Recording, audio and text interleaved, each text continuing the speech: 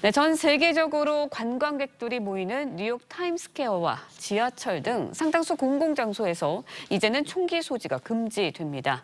지난 7월에 통과된 법안이 이달 1일부터 시행됐는데요. 영상으로 보시죠. 네, 지난달 31일 뉴욕 타임스퀘어 광장의 모습입니다. 한 경관이 gun free zone이라는 팻말을 붙이고 있는데요.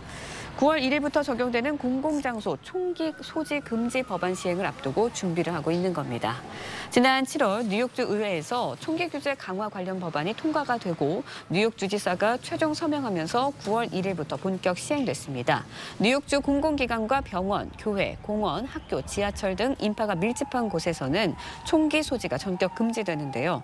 극장과 경기장은 물론이고 타임스퀘어와 같은 대형 광장도 포함됩니다. 시민의 목소리 직접 들어보시죠.